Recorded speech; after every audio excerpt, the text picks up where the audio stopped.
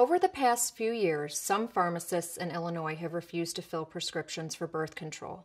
I was shocked to find this out. When do pharmacists get to decide which prescriptions my doctor fills? Bill Brady supports a law allowing pharmacists to refuse to fill prescriptions. It's unbelievable to even think that the next governor of Illinois could prevent me and other women from getting our birth control prescriptions filled. The more you know about Bill Brady, the worse it gets.